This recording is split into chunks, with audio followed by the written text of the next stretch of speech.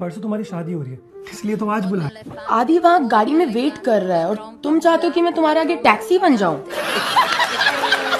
मैं आदि को पंद्रह मिनट बोल के आई हूँ और तुम्हारा तो आराम से आधा घंटा चलता है।